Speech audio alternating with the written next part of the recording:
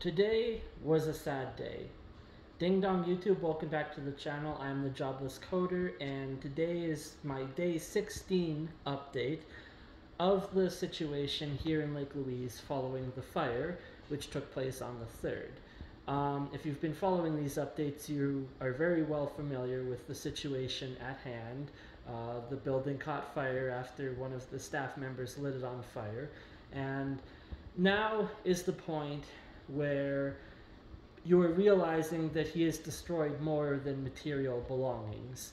I found out today, going into work um, on the bus from one of my colleagues, that my manager had quit, and today was his last day of work. And this guy, man, anyone who is employed at the Lake Louise Ski Resort knows exactly who I am talking about because he doesn't even need an introduction. He's one of the most unique people I think I've ever met, and a lot of people have the same reaction when they first meet him. I can't believe he's a manager, but he is, and I've seen him be very professional in the kitchen. He's also a complete goofball and the class clown type of person, um, if you will. He is so fucking funny. I have spent the last month since moving here, laughing my ass off to the point where I was crying some days, just how funny he is. And he keeps the kitchen lively and upbeat. I don't think I could have made it through that day of the fire, continuing to work, if it wasn't for him and his humorous remarks about getting deported. Now his passport is burned, and that was just funny as shit uh, that day, and all his hilarious comments and quick wittiness about him.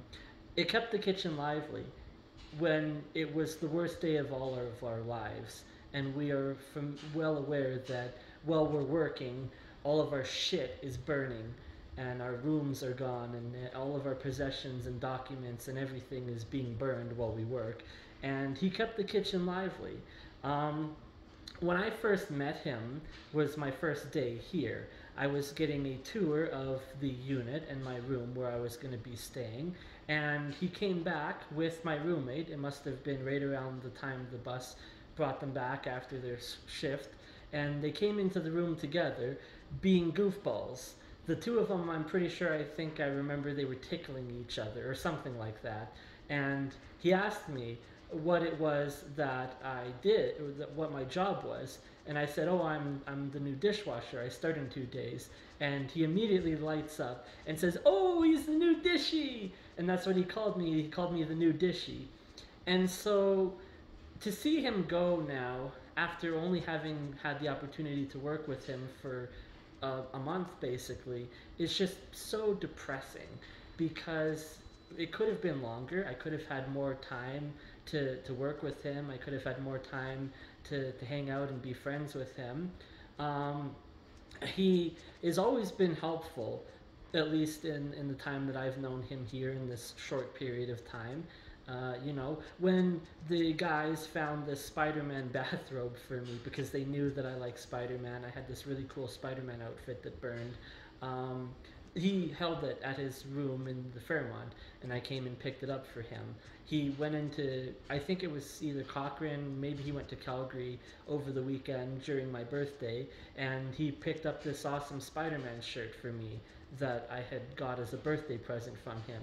And then that night he gave me a twisted tea, and all of the guys had me chug it uh, right there all at once. Um, so he's just really chill and cool to hang out with. He's unlike any manager I've ever worked with.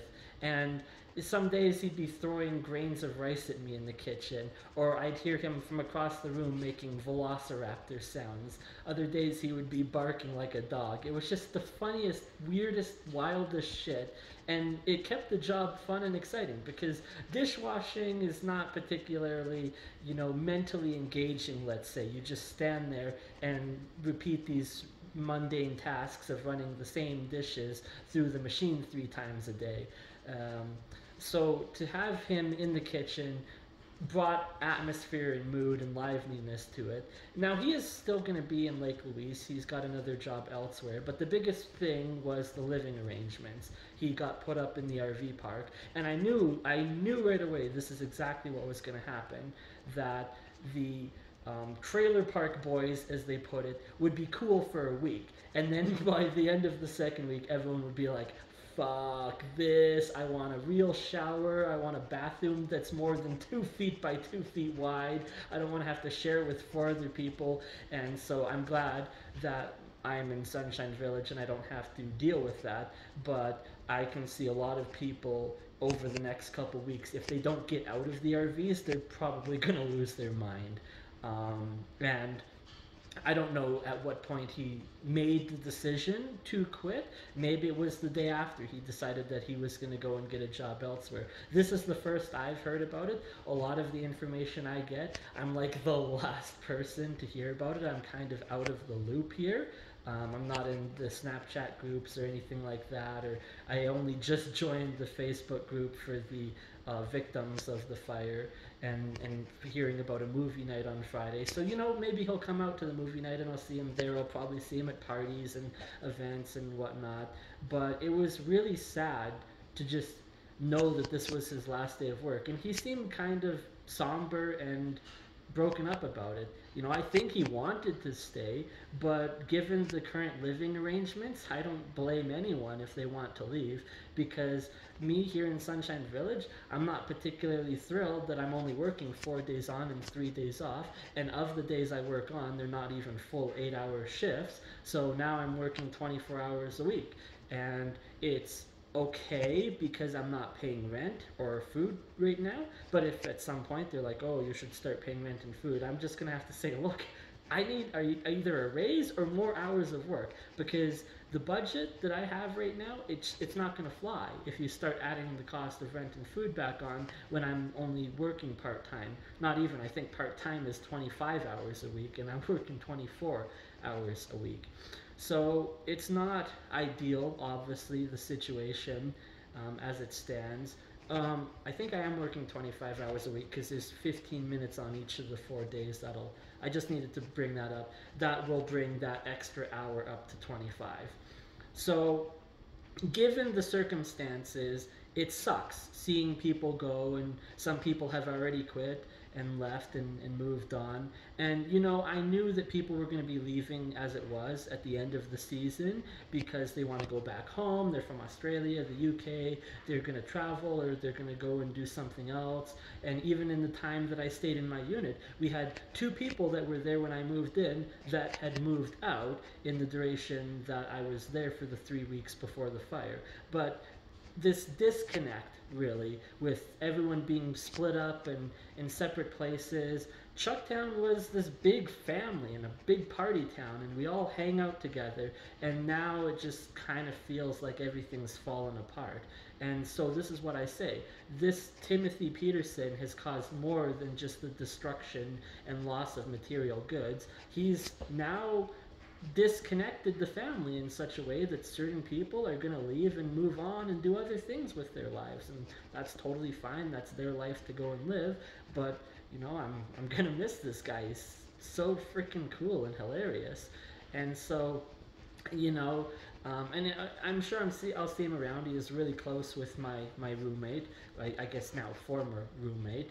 Um, the, the two of them would joke about being married, and so we even had the, the new girl that moved into our unit.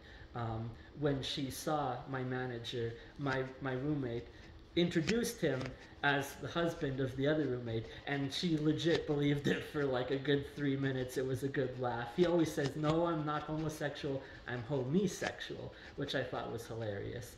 Um, but yeah, that was basically what happened today is that it was the last day working with this guy, and so the kitchen's just not going to be the same without him. And I mean, for me, I've already expressed my interest in eventually getting a job in the IT department, at which point I wouldn't be working in food and beverage anymore.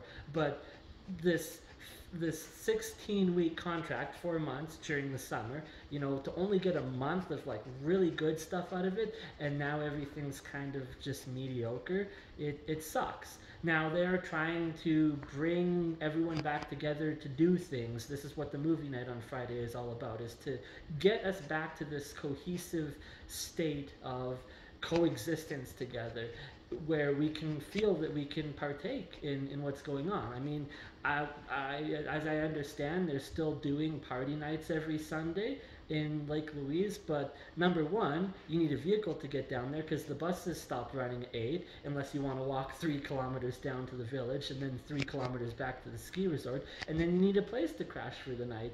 And yes, I have a sleeping bag. Um, I don't want to be that guy that just shows up every weekend in the campground and crashes at somebody's place. I mean, I probably could get away with it, but you know, it's not ideal. Um, and it's, it's, it's it's it would just be me too you know? It's not everyone that's down here in sunshine village or i think there's even people in canmore still. And so i can only imagine how uh, disconnected everyone feels.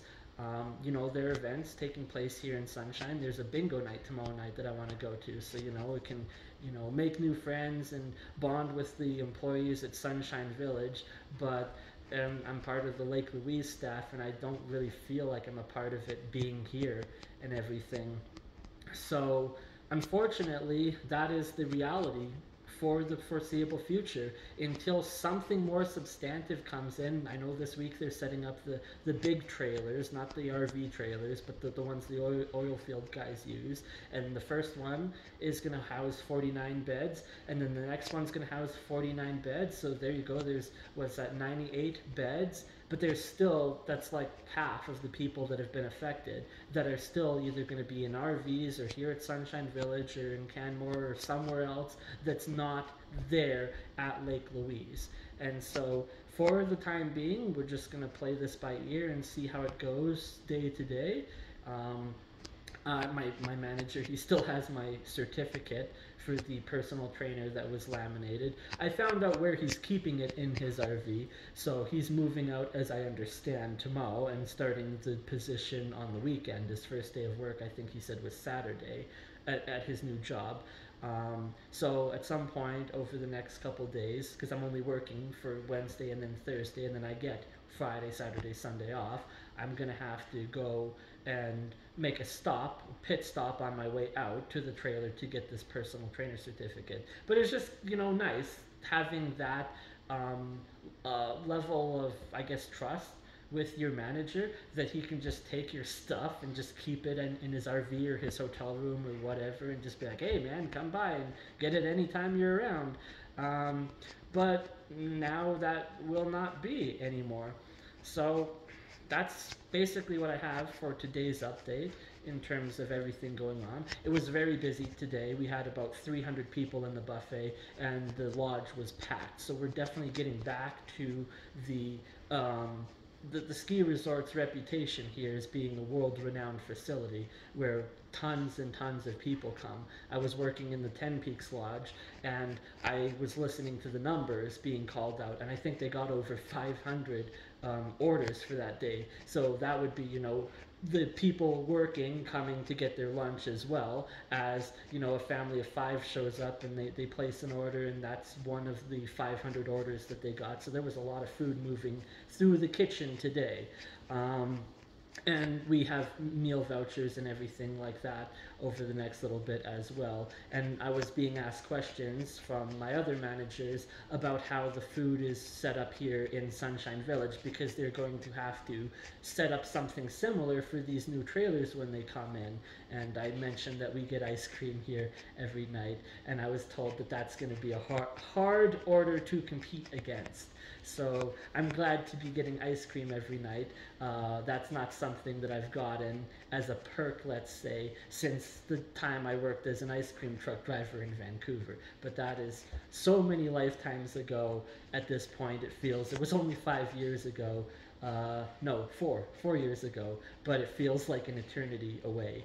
Um, but thank you for everyone who keeps following these videos, and I'll just keep putting out the daily updates until something changes and I feel that it's no longer necessary to do so.